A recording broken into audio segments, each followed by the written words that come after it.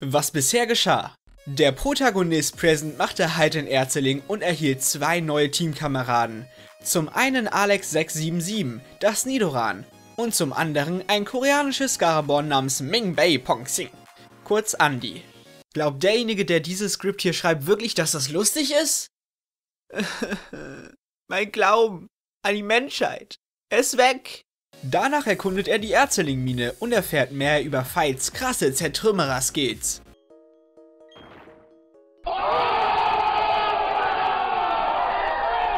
Nun geht es für den trotteligen Present in die Arena. Wird er dabei den ersten Orden erringen können? Oder kläglich versagen?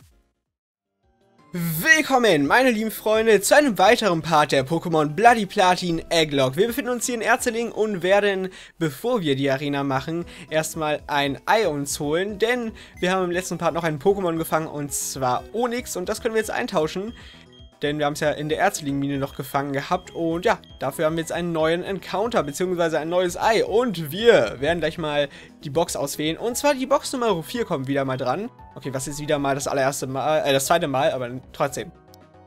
Wieder mal, sagen wir einfach. Es stimmt, ja. Es stimmt, egal. was rede ich hier wieder? Gut, die Reihe Nummer 5 kommt dran und die Spalte 5. Und dieses Mal wirklich 5, nicht wie in Part 1. Ich habe ja versehentlich und ich war ein Trottel. Ich habe die Nummer 5 hier gewürfelt und bin dann auf Nummer 6 gegangen, wo dann PewDiePie war. Und ich habe gar nicht richtig darauf geachtet. Ich habe es nicht realisiert, bis ihr es mir in die Kommentare geschrieben habt. Und das tut mir leid, aber es ist jetzt wie es ist. Und letztendlich ist ja trotzdem random ausgewählt worden. Ich habe es ja nicht dann irgendwie beabsichtigt gemacht. Ich wusste ja noch nicht mal, wo Gelbers Ei war. Also, ja, passt es, glaube ich. Gut, wir haben erstmal Nidoran hier, welches wir wegpacken. Und Cold Crow ist unser Pokémon. Jetzt schauen wir erstmal, ob, oder welches äh, Item er hat. Schafzahn. Okay, ich weiß, was es ist, oder? Es müsste das Pokémon sein, was ich denke, was es ist. Habe ich das richtig formuliert? Ach, keine Ahnung. Schafzahn, das müsste, wenn es mich nicht ganz täuscht, ein alter Bekannter sein. Und es ist ein Skorgler. Okay, doch nicht. Ich dachte nämlich gerade an Sneebel. Und ich glaube, das ist Shiny, aber wird wahrscheinlich am Ende so nicht mehr angezeigt. Ich dachte, es wäre Sneebel, aber ich glaube, das ist ein anderes Item. Kann das sein? Oder war es nicht auch Schafzahn? Ach, ihr werdet mich sowieso in den Kommentaren berichtigen. Deswegen lasse ich es jetzt hier einfach mal offen. So, Cole Crow, äh, hier R-O-W-E. Warte mal, Cole Crow mit E am Ende, soweit ich weiß, ne? Ich glaube, das war so. Ich habe es jetzt nicht mehr ganz im Kopf. Ich weiß aber natürlich auch aus, aus den Kommentaren. Ich kenne ihn ja aus den Kommentaren. Und deswegen glaube ich, war das so, wenn es mich nicht ganz täuscht. Sonst ändere ich das nochmal im Nachhinein, falls es wirklich falsch war. Gut, Cole Crow dann schauen wir mal, ob das Skorgler denn legal ist. Wir haben hier ein hartes Wesen, Scherenmacht als Fähigkeit und folgende vier Attacken. Ich würde sagen, wir schauen mal nach, und, beziehungsweise ich schaue nach. Nach einem kurzen Schnitt sehen wir, ob es legal ist. Bis gleich. So, da sind wir wieder zurück und Cole Crow, das Skorgler, ist richtig. Ich habe ihm das Item Schafzahn gegeben und ja, sonst alles beim selben wie vorher, beziehungsweise noch schnell auf Level 12 gepackt. Und ja, Giftstachel, Kreuzschere, Erdbeben und Flügelschlag ist das Moveset, was wir hier haben. Und das ist doch ziemlich schön eigentlich. Also, ich bin zufrieden, wieso nicht, ne? Und ich würde sagen, dann können wir jetzt eigentlich in die Arena gehen mit sogar einem sehr guten Ausgangspunkt. Ich werde Nidoran erstmal wegpacken, weil ich Cold Crow doch etwas stärker finde. Und ich würde sagen, wir gehen jetzt direkt in die Arena rein. Wieso nicht, ne? Und dann schauen wir auch direkt mal, was für Level die Arena denn so mit an den Start bringt. Und was dann vor allem der Arenaleiter hat. Ich werde vielleicht vorher nochmal trainieren, denn ich habe keine Ahnung, ob er am Ende sechs Pokémon haben wird. Weil es könnte tatsächlich sein. Denn Blaze Black hatte es damals. Ich gehe aber auch nicht davon aus, dass Bloody Platin genauso sein wird. Ich kann mir aber gut vorstellen, dass er mindestens drei bis vier Pokémon haben wird. Also drei auf jeden Fall, vielleicht sogar vier. Fünf oder sechs könnten immer noch sein, aber das werden wir dann ja scouten sozusagen. Und Stolunio ist auf jeden Fall kein schlechter Anfang für uns. Und auf welchem Level war das? Ich habe gerade nicht ganz drauf geachtet. Ich glaube, Level 14, okay?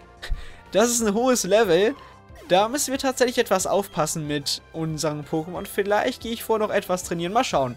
Ich schätze das ja gleich nochmal ein. Rihorn kommt rein, da können wir auch drin bleiben. Das passt auf jeden Fall. Gibt nochmal weiter, äh, weitere Erfahrungspunkte Hilfe für den guten einen Lurch hier. Und ja, damit ist es ein totes Rihorn. Gut, jetzt ist natürlich die Frage, was machen wir gleich? Werden wir jetzt hier trainieren? Weil ich bin jetzt auf Level 12 mit Lurch, Rihorn ist Level 14 schon. Werde ich jetzt sogar schon vortrainieren von dem nächsten Trainer? Na, ich glaube, den nächsten Trainer können wir auf jeden Fall noch machen. Dann scouten wir nochmal seine Level und danach entscheiden wir weiter. Ja, genau. Was habe ich noch zu erzählen? Die Frage des Videos vom letzten Part kann ich ja noch beantworten. Und im Nachhinein, nach der Arena, möchte ich auch nochmal ganz kurz den allerersten Part etwas Revue passieren, euer Feedback vor allem hier einbeziehen. Denn der allererste Part ist mittlerweile online. Das heißt, nachdem ich die Arena gemacht habe, werde ich auf jeden Fall darauf eingehen. So, er hat auch schon drei Pokémon, also wird der Arenaleiter mindestens drei haben. Ich glaube nicht, dass er auf, auf, einmal weniger hat oder so. Das wäre etwas komisch. Gut, auf jeden Fall, die Frage des Videos vom letzten Part war, wie gefällt euch oder wie gefallen euch diese Rückblenden, also dies mit dem, was bisher geschah. Und ich muss ehrlich sein, ich habe den allerersten Part schon hochgeladen, den zweiten habe ich aber noch nicht fertig gemacht.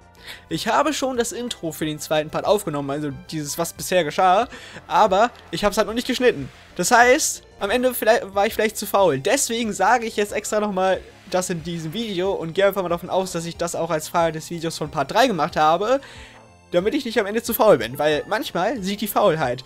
Und deswegen möchte ich, oder habe ich hoffentlich das gemacht und euch gefällt es hoffentlich. Ich möchte das ja noch ein bisschen austesten. Ich möchte sowieso in diesem Projekt sehr viele neue Sachen austesten, um mich zu verbessern. Und ich glaube, dass mit den Rückblenden könnte ein richtiger Schritt sein. Mal schauen, wie es letztendlich bei euch ankommt. Ich hatte erstmal ein bisschen Angst, ob ich damit irgendwie Leute spoiler oder so. Aber seien wir mal ehrlich.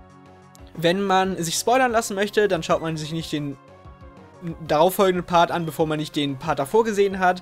Und man sieht ja allein schon am Rahmen, ob etwas gestorben ist oder ob ein neues Pokémon drin ist und was weiß ich nicht was. Also letztendlich ist es total egal. Deswegen dachte ich mir, komm, mache ich nicht, dann mache ich dann gleich diese Rückblenden. Wieso nicht? Und ja, deswegen also ich werde sie vor allem, also ich werde sie trotzdem etwas spoilerfrei lassen, also nicht, nicht komplett spoilerfrei, aber ich werde dann bestimmte Szenen natürlich nicht zeigen. Also es gibt immer noch interessante Sachen dann zu sehen, selbst wenn man die Rückblende gesehen hat, aber natürlich so ein paar Kernpunkte im Part. Zumindest ist das so der Plan. Ich habe ja bisher erst den, äh, den, hier, den, das Intro sozusagen, also diese Rückblende zu Part 1 aufgenommen. Also weiß ich noch nicht, wie es in den nächsten Parts aussehen wird. Aber das ist jetzt endlich mein Plan damit. Und ich mag diese Idee eigentlich. Ist natürlich auch nicht komplett meine Idee. Kennt man ja aus verschiedenen Serien im Fernsehen von damals. Das gute alte Fernsehen, wer kennt das noch heutzutage? Oder eben auch von anderen Projekten. Aber bisher in der deutschen Szene habe ich das eher weniger gesehen. Also wieso nicht das auch mal hier einführen? Gut, da kommt Schilderus rein. Also was ist das einführen? Es gibt bestimmt irgendjemand, der das schon gemacht hat. Ich möchte jetzt hier nicht diese Lurbeeren pflücken und sagen, ja, das war alles meine Idee. Oh, ich bin so toll. Nein, auf jeden Fall nicht. Alter, Schilderus mit Protect, ja, das hilft dir auf jeden Fall sehr. Aber jetzt, jetzt sieh mal, schau mal hier, guck mal. Ich möchte ja nicht fies sein, aber du bist vierfach schwach gegen Erdbeben. Und deswegen Tut es mir leid, das sagen zu müssen, aber das war es leider mit deinem Leben. Tschüss, Schilderos. Tschüss. War eine schöne Zeit mit dir? Eigentlich nicht. Es war eine sehr kurze und traurige Zeit mit dir, weil was hast du schon gemacht? Bitte Sch Schutzschild einsetzen. Beim zweiten Mal hast du es nochmal versucht. Dann hat es nicht geklappt. Ja. Was kannst du überhaupt? Was kannst du überhaupt? Gut, ich würde sagen, wir heilen jetzt erstmal auf und ich glaube, wir können tatsächlich sogar so in die Arena gehen. Ich meine, ich habe Skorgler, ich habe äh, Kaumalat und ich habe hier Dingens, ne? Ihr wisst schon. Ihr wisst, was ich meine. Äh, Cassie. Genau, Cassie. Natürlich. Wie kann ich ihren Namen vergessen? Und dann könnte ich jetzt eigentlich direkt in die Arena gehen, würde ich sagen, oder? Level 14 wird er wahrscheinlich haben. Ich glaube nicht viel höher. Vielleicht Level 15 maximal. Also komm, wir trauen uns mal was, ne? Wir trauen uns mal was. Ich weiß nicht, ob das die richtige Einstellung ist im Bloody Platin. Ich glaube nicht, aber ich bin lebensmüde. So bin ich halt. Nein, eigentlich nicht. Ich glaube wirklich, dass wir es ohne Probleme schaffen sollten, weil ich habe Cassie, ich habe Lurch, ich habe Cole Crow und im Fall der Fälle habe ich immer Poopty-Pie. Poopty-Pie rettet einen immer. Gut, ich würde sagen, Cole Crow packen wir mal hier hin. Vielleicht ist es ja ein Doppelkampf, also Cassie und Lurch ist, glaube ich, ein gutes Matchup. Ich würde aber trotzdem mal mit Cassie dienen, falls es doch ein Einzelkampf ist. Und dann würde ich sagen, geht's jetzt gegen Fight ran. Willkommen! Dies ist die Arena von Erzeling. Ich bin Fight, der Arenaleiter. Mein ganzer Stolz sind meine Gestein-Pokémon. Als Arenaleiter erkenne ich dein Potenzial als Trainer, aber ich muss mich von der Kraft deiner Pokémon im Kampf überzeugen. Dann schauen wir, was wir gegen Fight machen können. Dem Arenaleiter der Erzeling Arena. Er hat vier Pokémon, gut zu wissen. Das ist auf jeden Fall schon mal ein hohes Maß. Und Kabuto ist Elite, das ist eigentlich kein Problem für Cassie. Cassie handelt Kabuto ohne Probleme. Maximal kann er mir Schaden machen mit Absorber und das wird 0% machen, so nach dem Motto, weil es ist ein Absorber, es ist kein Step. Und das reicht sogar fast aus zum One-Hit-KO. Lebensschuss, okay, wird unsere Initiative senken. Habe ich kein Problem mit. Damit können wir auf jeden Fall leben und dann können wir im nächsten Zug direkt auf einen weiteren Server gehen und ihn eigentlich besiegen. Ich sehe jetzt nichts, was uns daran hindert. Tarnsteine. Die Tarnsteine, Alter, da hat er aber richtige Strats. Das ist nicht schlecht. Das ist auf jeden Fall nicht schlecht, was er hier so fabriziert. Aber schauen wir mal, was er jetzt macht. Kabuto ist schon mal down, sein erstes Pokémon und er hat noch drei weitere. Level 12 für Cassie, sehr, sehr nice. Und was könnte er jetzt noch so haben? Vielleicht auch ein Stalunior, wie der allererste Trainer hier in der Arena. Vielleicht schon ein Steurak, was glaube ich nicht auf diesem Level. Wäre unlogisch. Aerodactyl. Sollte ich hier rauswechseln? Sollte ich hier rauswechseln? Steinkante.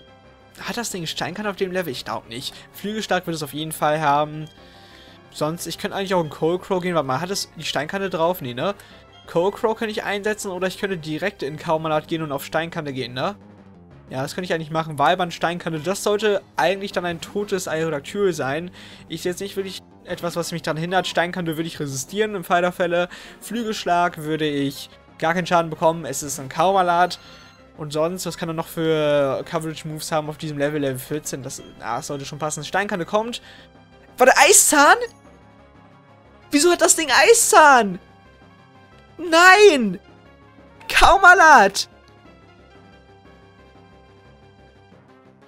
Ich sehe doch jetzt hier nicht richtig. Das Ding hat Eiszahn? Ja, nice. Dann müssen wir direkt in, wieder in Cassie gehen, oder wie?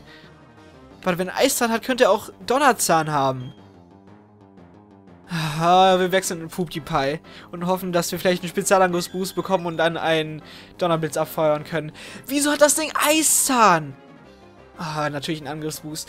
Ach, komm schon. Das ist doch richtig overpowered. Wieso? Damit hätte ich möglicherweise rechnen können, aber nein, eigentlich nicht. Aber okay, gut, es ist ein Hack. Also, ja, Fliegeschlag, das solltest du aber gut tanken. Crit! Bitte, meine Nerven. Meine Nerven. Bitte. Lass meine Nerven in Frieden. Natürlich reicht es nicht aus.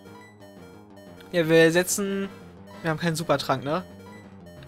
Das Ding... Hat das Ding Verfolgung? Oh, wenn das Ding jetzt auch noch Verfolgung hat. Am liebsten würde ich mich jetzt wieder rauswechseln. Er wird auf den Flügelschlag gehen. Ja, das ist echt gefährlich. Ich gehe in Cassie raus. Flügelschlag wird ein bisschen Schaden machen. Ja, ich glaube, ich gehe in Cassie raus. Ich gehe in Cassie raus, hoffe einfach mal, dass er keinen Donnerzahn hat. Komm schon, bitte. Da kommen die Tarnsteine. Er setzt einen Trank ein, okay. Okay. Ich halte mich jetzt erstmal ein bisschen gegen mit den Überresten. Wir gehen jetzt hier auf Surfer. Er hat Donnerzahn, bitte. Das reicht nicht aus. Finion ist Bulky. Du hast ein kühnes Wesen. Das reicht nicht aus, okay. Surfer, bitte reich aus. Bitte. Bitte reich einfach aus. Bitte. Das reicht nicht aus. Ich kann mich nicht gegenheilen, oder? Er könnte aber jetzt vielleicht hier einen Trank einsetzen. Wenn er jetzt hier auf den Donnerzahn geht. Was können wir hier raus, äh, reinwechseln? Wir haben halt keinen Supertrank. Das ist das, was uns ein bisschen Probleme bereitet. Ach, komm schon. Wir müssen vielleicht wieder was opfern. Okay, Cassie heilen wir jetzt erstmal auf. Ich speed jetzt hier ein bisschen. Jetzt mit den Überresten zusammen Flügelschlag. Das ist sehr nice. Das ist sehr, sehr gut. Okay, das macht trotzdem super viel Schaden. Das ist trotzdem super, super viel Schaden. Ich muss eigentlich schon fast Cold Crow opfern. Ich möchte es eigentlich nicht machen, aber ich brauche auch Cassie in meinem Team. Cold Crow, muss ich dich opfern? Wahrscheinlich, ne? Ich wechsle jetzt erstmal in Cold Crow, um Cassie aufzuheilen. Und ich hoffe jetzt einfach mal, vielleicht geht er nicht auf Eistan, vielleicht misst er. Ich möchte einfach... Ach, komm schon. Selbst wenn ich jetzt hier noch trainiert hätte, hätte es, glaube ich, keinen Unterschied mehr gemacht. Keinen großen. Ah, man muss halt mit Eistan rechnen. So, Cassie, wir heilen Cassie einfach mal auf und hoffen, dass er jetzt hier predicted vielleicht mit Eistan misst. Ah, nein, er geht auf Eistan. Bitte, ich, ich kann nicht hinschauen. Bitte stimmt nicht. Bitte, Skorgler. Ja, natürlich stimmt es. Okay, ein Donnerzahn tank ich mit Cassie. Wir gehen jetzt hier auf Cassie und werden einen Surfer abfeuern und hoffentlich Iodactyl besiegen. Bitte crit mich jetzt nicht. Weh, du crittest mich. Donnerzahn, ich kann gar nicht hinschauen. Ich kann gar nicht hinschauen. Ich muss hinschauen. Kein Crit. Kein Crit, keine Para. Surfer kommt und Aerodactyl ist tot. Ah. Er hat noch zwei Pokémon. Das war aber wahrscheinlich sein stärkstes, oder? Hoffentlich, hoffentlich. Sag mir jetzt nicht, dass er noch ein Aerodactyl hat. Auf Level 16 am besten noch. Level 13 für Puptipai. Okay, was hat er noch? Was könnte er noch haben? So, bisschen Heilung mit Cassie. Cognodon. Wir können dagegen drin bleiben, oder? Wir sollten sogar schneller sein und auf Surfer gehen können. Aber ich möchte es nicht riskieren, also gehe ich erstmal auf den Trank. Ja, ja, nee, erst auf Level 13. Ich möchte wirklich nichts riskieren. Ich gehe jetzt hier erstmal auf den Trank. Auf Cassie. Heil erstmal auf. Und besiegt dann hoffentlich in der nächsten Runde Cognodon. Was kann er mir machen? Vielleicht Kopfstoß? Aber nein, das wird er jetzt hier nicht auf dem Level können. Okay, Kopfnuss. Das passt aber, glaube ich. Ja, das passt. Das passt auf jeden Fall. Gut, gut, gut. Das Gute ist nämlich, dass Cassie physisch defensiv ist, deswegen brauchen wir sie auch auf jeden Fall, damit wir einen Tank für solche starken Hitter haben. Und Surfer kommt, wir sind schneller und das sollte eigentlich ein totes Cognodon sein. Es hat keine Robustheit natürlich. Es hat keinen Fokusgurt glücklicherweise. Damit ist es besiegt. Sehr nice. Okay, was hat er noch? Was hat er noch? Bitte, bitte sag mir jetzt nicht, dass er noch irgendwas Schlimmes hat. Ich möchte nicht noch was verlieren. Das ist so dumm. Schon zwei Pokémon verloren. Anorid. Okay, okay, okay, okay. Ich würde sagen, Cassie, äh, Cassie kann das handeln. Cassie handelt das. Weil Anorid nichts kann. Denke ich zumindest. Kann es irgendwas, was mir gefährlich sein kann? Ich glaube nicht. Wir gehen einfach auf Surfer. Wir überlegen hier nicht lange. Aquaknarre ist mir egal. Wir gehen jetzt hier einfach auf Surfer und hoffentlich macht das ein Two-Hit-KO. Aber eigentlich schon. Es ist nur ein Anorid. Wir sind ein Finion. Und es ist Step und es reicht aus. Oh. Okay, okay, okay, okay. Das war's mit dem Arenaleiter. Wir haben aber zwei Pokémon verloren und dabei auch noch einmal ein Newcomer und einmal ein Kaumalat. Ein Kaumalat! Regentanz, will ich das reinnehmen? Ich glaube, ich nehme das sogar für Bitterkurs erstmal rein. Weil Bitterkurs finde ich nicht so wichtig, weil es könnte misten und so weiter. Und Regentanz kann ziemlich cool sein. Oh nein. Es tut mir leid. Es tut mir leid, Cold Es tut mir leid, Lurch. Es tut mir leid. Es tut mir leid. Ich wollte euch nicht sterben lassen, aber dann kam dieses Eiszander Aerodactyl. Was hätte ich machen sollen?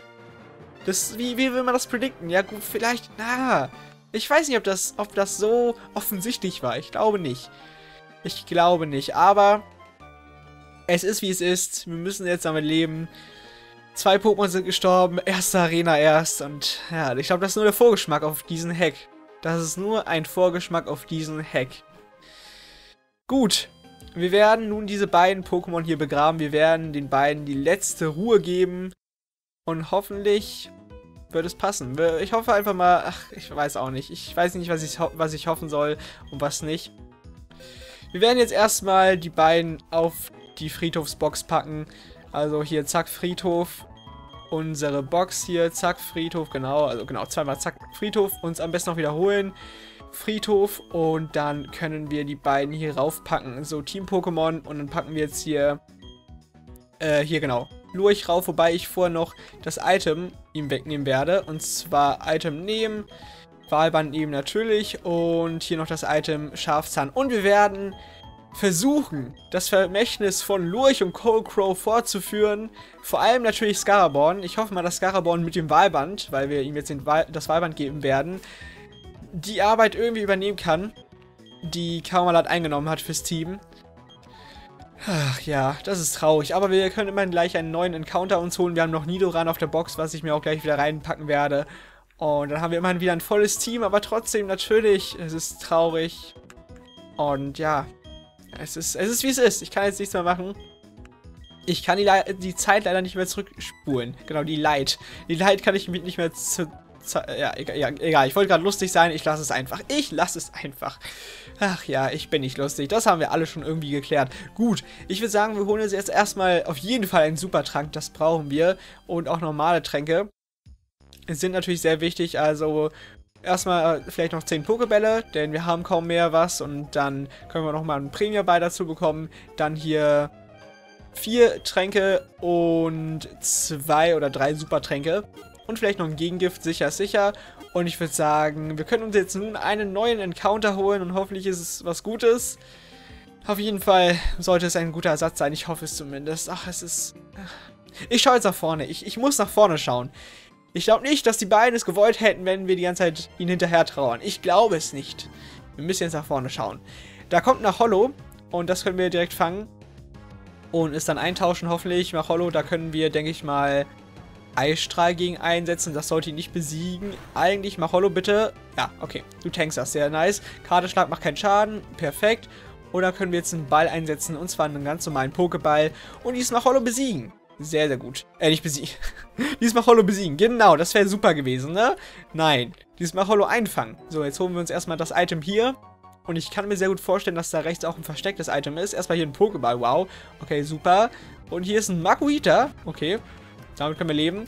Aber wir fliegen trotzdem. Und wir haben hier noch einen Pokéball. Okay, gut. Hier überall Pokebälle. Lass uns erstmal hier von dieser Route wegkommen. Ein Funpy. Komm, das ist Snackrap für Cassie, oder? Komm. Tschüss, Funpy. Oder doch auch doch nicht. Aber jetzt und dann bekommen wir vielleicht sogar ein Level. Okay, doch nicht. Ich dachte vielleicht, weil er drei Level über uns ist oder so. Aber nein, natürlich nicht. Gut, ich würde sagen, wir können uns nun ein neues Pokémon schnappen. Und hoffen einfach mal, dass es was Gutes sein wird. Die Hoffnung stirbt zuletzt. So, Pokémon bewegen. Und dann werden wir einmal Macholo nehmen und es austauschen gegen folgendes Ei. Ich werde direkt mal würfeln. Die Nummer 2 kommt dran, Box 2. Dann haben wir die Nummer 1 und die Reihe 6, äh, die Spalte 6. Und das ist die richtige Spalte, nicht wie letztens mit PewDiePie, wie gesagt, das war echt ein bisschen dumm. Der blöde Fehler, aber passt schon. Äh, ich habe jetzt gar nicht darauf geachtet, was wir überhaupt uns reingeholt haben und was für ein Item das trägt. So, zack, was für ein Item trägst du denn? Du trägst gar kein Item. Okay, YOLO Boy. YOLO Boy merken wir uns. Dann werden wir YOLO Boy ausschlüpfen und hoffen, dass es was Gutes ist. Mal schauen. Ich weiß, dass YOLO Boy auch in der Blaze Black Glocken-Ei eingesendet hat und da war es ein Plinfer. Hier ist es wieder ein Plinfer. YOLO Boy, das Plinfer. Und ja, das ist doch eigentlich ziemlich gut. Aber wir haben Cassie, also glaube ich, ich werde erstmal YOLO Boy nicht verwenden. Vor allem, weil ich eben Pokémon verwenden möchte, die ich noch nicht unbedingt verwendet habe. Und ich habe Empoleon schon mal in der Pokémon-Liga von Blaze Black verwendet. Und deswegen, ja, empfehle ich euch sowieso, wenn ihr schon mal ein Ei eingesendet hat, habt und das schon mal dran kam, beim nächsten Mal was anderes einzusenden. Denn dann ist es ein bisschen mehr Vielfalt für euch Zuschauer und natürlich auch für mich. Und dann werden wir direkt mal YOLO Boy erstmal auf die Box packen. Beziehungsweise nein, ich behalte es erstmal in meinem Team. Vor allem muss ich sowieso nachschauen, ob es richtig ist. Das habe ich total vergessen. Also schauen wir direkt mal nach. Ist denn YOLO Boy überhaupt richtig? Vielleicht sehen wir schon mal hier, ob die Fähigkeit drin ist. Ja, die ist drin. Also sehen wir uns nach einem kurzen Schritt wieder. Bis gleich. So, da sind wir wieder zurück und YOLO Boy, das Flintfer, ist richtig und ich werde es trotzdem nicht direkt verwenden. Vor allem, es hat ein mäßiges Wesen und die VM-Kaskade drauf. Okay, cool. Oder so, weiß ich nicht, was ich davon halten soll. Wieso nicht direkt an Surfer, aber okay. Auf jeden Fall werde ich lieber Cassie erstmal verwenden, weil wir brauchen eher ein defensiveres Pokémon. Und die würden sonst ein, ein und dieselbe Rolle erfüllen. Aber Plinfa hat halt kein physisch-defensives Wesen, es hat keine keine guten Attacken jetzt wirklich außer Kaskade. Deswegen bin ich jetzt doch erstmal für Cassie, vor allem weil Cassie schon auf Level 13 ist und bisher schon sehr gute Arbeit gemacht hat. Vor allem in der Arena. Nach der Arena sowieso MVP überhaupt. Hups Present, du hast den Ohren bekommen. Was? Also auf jeden Fall für die Arena. Warte mal, machen wir jetzt hier wirklich einen Rivalenkampf. Wie genau ist der nächste Ort? Habe ich recht? Weh, du sagst mir jetzt, dass wir einen Rivalenkampf machen. Timo, ich bitte dich. Wenn du nicht möchtest, dass ich was in der Souling sterben lasse, dann wirst mich jetzt nicht herausfordern. Okay, du willst so sprinten. Alles gut. Alles okay, gut, gut, gut. Ich hatte gerade schon Angst. Ich werde erstmal ganz kurz vorher nochmal aufheilen, merke ich gerade. Das habe ich noch vergessen. Und dann werde ich auch nochmal ganz kurz hier den allerersten Part etwas Revue passieren, beziehungsweise auf euer Feedback eingehen. Denn der allererste Part ist mittlerweile online und ich möchte mich erstmal bei diesen starken Support bedanken. Der war wirklich unglaublich. So viele liebe Kommentare, vor allem zu den Grafiken, das ganze Feedback, diese ganzen netten Worte. Viele Leute haben wirklich sehr viel Positives zu den Grafiken geschrieben. Das freut mich natürlich, weil ich investiere sehr viel Zeit in das Grafikdesign und möchte natürlich, dass es ansprechend aussieht. Und wenn es letztendlich am Ende glückt, dann bin ich noch glücklicher über das Ganze. Und das freut mich auf jeden Fall. Das freut mich. Gut. Äh, warte mal. Erstmal überlege ich gerade. Hier haben wir doch, hier haben wir schon Pokémon gefangen. Da ist alles okay. Und hier wir noch, sind wir noch gar nicht durchgegangen, ne? Also können wir eigentlich allem Zertrümmerer aber man kann Plinfast vielleicht erlernen. Nee, kann es nicht. Ah, will ich ihm das beibringen? Nidoran. Weil ich glaube, ich werde Nidoran nämlich nicht mit ins Team reinnehmen. Kann ich mir ziemlich gut vorstellen. Deswegen werde ich jetzt erstmal Nidoran hier äh, den Zertrümmerer geben. Wobei, ich weiß nicht, vielleicht nehme ich Nidoran doch mit rein. Aber ich bin mir noch etwas unsicher, denn es muss mich erst überzeugen, was es in der vierten Gen so kann. So, Erzeling-Tor, warum ist es immer noch das Erzeling-Tor? Also ist es dasselbe? Okay, ist immer noch dasselbe. Gut, Erzeling-Tor dann müsste doch jetzt hier irgendwo äh, noch irgendwas sein vielleicht? Irgendwie ein Pokémon, ein Pokéball oder so? Oder was ist hier? Ich weiß gar nicht, was das überhaupt hier für eine Route ist. Die kommt mir jetzt überhaupt nicht bekannt vor. Und was ist Level 19? Okay, ich gehe direkt raus. Ich gehe direkt raus. Stopp. Keine Trainerkämpfe machen. Direkt hier raus. Ich möchte jetzt hier nicht sterben an einem random Trainer, weil er Level 19 Pokémon hat. Direkt raus. Auch wenn hier Items sind, ich möchte jetzt hier wirklich nicht sterben. Das werde ich mir für später aufbewahren. Auf jeden Fall. Ich glaube, wir müssen ja auch erst später hin. Also lassen wir das hier einfach mal und gehen hier raus. Ich werde hier mal immerhin das Kleinstein besiegen. Und ja, auf jeden Fall vielen Dank erstmal dafür. Vielen Dank generell für diesen Hype, der sozusagen aufgebaut wurde, allein durch die Kommentare. Das freut mich einfach sehr und das motiviert mich sehr. Und auch zu dieser ganzen Sache mit dem Like-Goal kam eher positives Feedback, wobei, gut, ich habe noch nicht die Frage des Videos vom zweiten Part gesehen, also die Antworten darauf, deswegen werde ich noch vor allem darauf abwarten. Aber sonst bisher, was ich gelesen habe, war eher positiv. Natürlich gab es auch kritische Kommentare und darauf möchte ich auch gleich ganz kurz eingehen. Und was will der jetzt? Okay, der will nichts Besonderes. Gut, Bisschen Lebel-Story, interessiert keinen. Naja, auf jeden Fall wie gesagt, da gab es auch ein paar kritische Kommentare. Manche können sich damit nicht ganz anfreunden. Ich will nur erstmal sagen, das ist sowieso ein Test. Also, ich sage nicht, dass es immer so sein wird, dass ich sowas machen werde. Ich möchte das erstmal austesten und dann schaue ich mal, ob ich das in der Zukunft weitermachen möchte. Vor allem natürlich Feedback. Wenn euch das gar nicht gefällt, habe ich gesagt, dann werde ich es auch lassen. Auf jeden Fall.